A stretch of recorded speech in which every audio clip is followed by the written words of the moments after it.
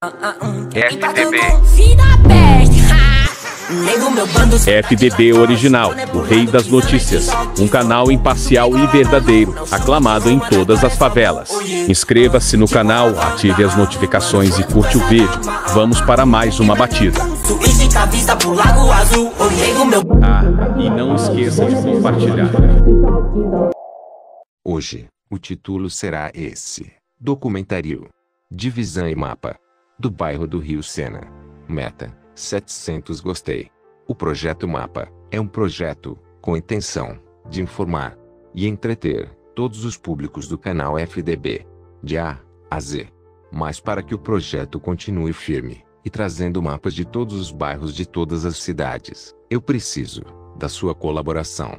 O seu gostei é essencial para que o projeto Mapa continue trazendo mais conteúdo. Então, colabore com seu like no vídeo. Agora, vamos para mais um projeto Mapa. E chegamos no bairro do Rio Sena. E para começar, vamos falar um pouco da demografia do bairro. Bairro do Rio Sena é um bairro com pouco, ou mais, de 15 mil habitantes. E esse mesmo bairro é marcado por ser o primeiro bairro da capital de Salvador a ter a empresa CV, como atuante, desde o ano de 2015 para 2016. E já que falamos sobre isso, vamos então notificar em quais localidades a empresa CV se faz presente dentro do pequeno bairro.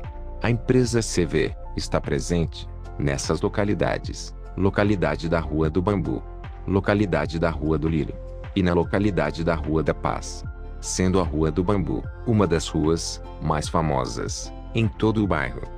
Já por outro lado, a empresa BDM se faz presente nas seguintes localidades: a localidade do Nativo, a famosa Rua da Bomba, a localidade da Bica, a localidade da Quadra e a localidade Volta Redonda, tendo em conta a mais famosa, conhecida como Rua da Bomba.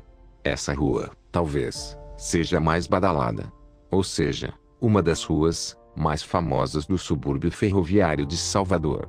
Enfim, como vocês estão vendo e ouvindo, a Rua do Bambu e a Rua da Bomba, ambas das ruas, ficam no bairro do Rio Sena, tendo em conta umas das ruas mais famosas da capital de Salvador. Pois bom, como foi dito no início desse vídeo, o projeto Mapa atende a diversos tipos de público, inscritos e não inscritos do canal FDB. E se você é a favor da continuidade desse projeto, aplique seu gostei, como forma de manifestação.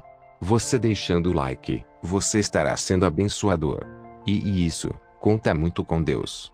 Que Jesus, abençoe sempre a sua vida. Ponto.